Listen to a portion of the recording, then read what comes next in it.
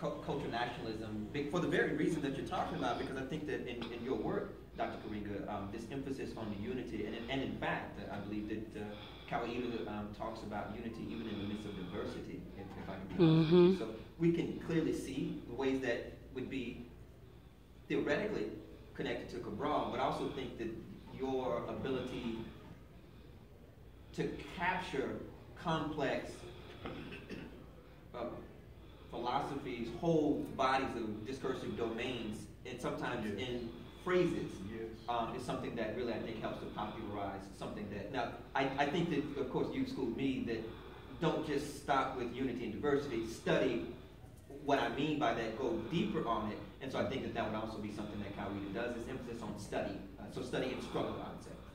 If I can just... Yes, sir.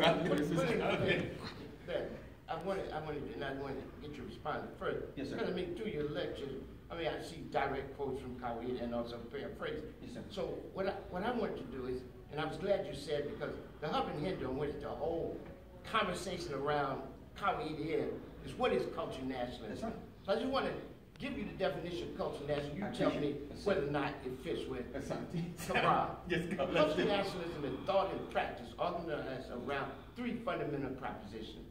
One, that the defining feature of any people or nation is its culture. Right. Mm. Second, that for a people to be itself and free itself, mm. it must be self-determined. Right. Pardon me, must be self-conscious, self-determining, and rooted in its own culture. Mm. And third, that the quality of life of a people and the success of its liberation struggle mm -hmm. depends upon its waging cultural revolution within mm -hmm. and political revolution without, resulting in a radical transformation of self, society, and ultimately the world. And what people get thrown off by is we put emphasis on self as well as society, right? right.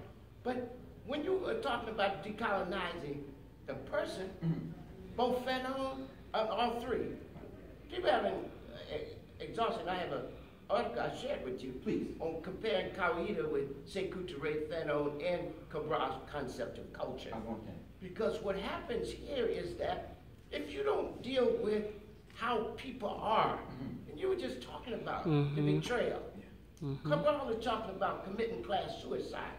You've got to deal with that. If you don't deal with that, you can't wage a successful revolutionary struggle. So the class suicide means completely identifying with the aspirations of the masses and giving your wealth, your power, and your knowledge to the service of the liberation struggle. Tradition and reason. You were talking about narrow notions of culture. Right. Well, we say all of our culture is based on two things, tradition mm -hmm. and reason. Tradition is our foundation. But reason brings up to caring needs and to our best moral thinking. So, hey, this is Cabral, this is Fanon, this is Sekou Touré. So what is wrong? All of it is revolution. Our thing is national liberation too. At the heart of it is national liberation. Without that, what can we do? Okay, so I, I just wanted you to see that, and I wanted you to say that if you felt that, yes. that it was so. Yes, definitely.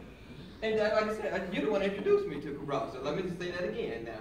And again, like, like I said, I mean, I, again, I, I, think that uh, I, this is really important.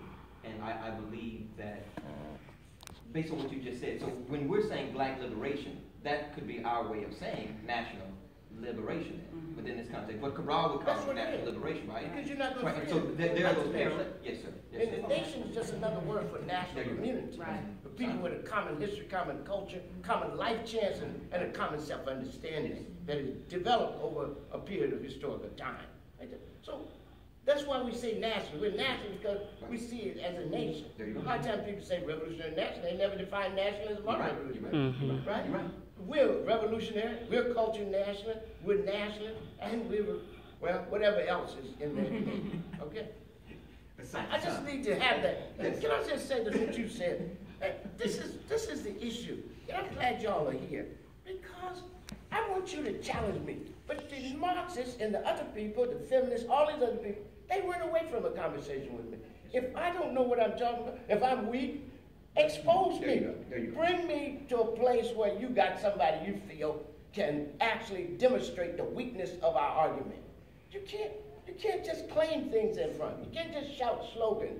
You've got to, in fact. And one of the things it does, and this is what bothers me, I think, in a very way, is it keeps people from admitting that they have learned from Kawaida, and mm-hmm. that they quote Kawaida without even directly referring to it, mm-hmm. because people will attack him for it. Mm-hmm. And so we think that if y'all, if, if Cabral is right, and we talked about this in CBS, if we're gonna have integrity as scholars, Yes. then we can't keep doing this. We can't keep talking to me in the side, like, like, like you are, okay.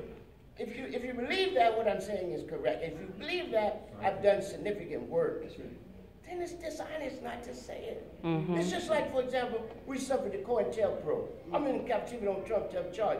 Nobody even discusses it. They don't discuss us as victims of COINTELPRO. In fact, they don't discuss the nation, which was the first victim in Malcolm, right? Mm-hmm. And the largest and strongest black organization in the Black Power movement. They don't discuss RNA or RAM or mm-hmm. SCLC. All these groups suffered that. And we certainly got people still un- underground and in exile, right? And we're able to, and, and some family in captivity. But we're able to go on. What happened to the other people? So somebody needs to discuss that besides somebody like the other guy that wrote a book that's nothing but an appendix to the FBI report. The book that's supposed to be on us. I need not mention names. Yes, sir. Hassan, Hassan. I'll take one more, I'll take one more question, and I'm gonna take it from the person. So yesterday, and you were talking about uh, this whole notion of cra- cabral. And then yesterday, there was this comment about NCBS uh, giving some, for lack of better language, uh, certification to programs, African American Studies program, to put the rubber stamp on. And so what do you think about that idea? I think that was posed to you yesterday, Dr. Karenga. And and my own thinking of that, if we were to do something like that, correct me if I'm wrong, because I know we pay to all these other white institutions, I'm in social work and I pay to several of them.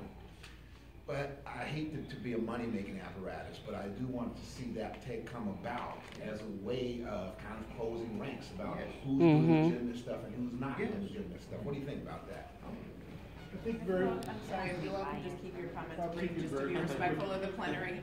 Okay. the- the- yeah, because, uh, It's Madam about Chair. I do have to go. I can talk to you further about it, but I think it has a lot to do with you, for, for that kind of accreditation thing that, that was discussed a lot in the seventies, Yeah. when NCBS was founded and we were meeting, uh, the organization was meeting, I wasn't there, but was meeting in Princeton with the ETS, the Educational Testing Services, and was trying to actually develop a kind of official accrediting formula, you know, that moment has passed. I don't think we're gonna really be able to kind of recapture that. It would take enormous buy-in by a lot of high-level college presidents, by a lot of, uh, accrediting bodies to really say, yes, they've got it, but we can do good program Yeah, we reviews can for talk each about other. little bit. I Yeah. think there's another way of doing that. Okay. All right, excellent.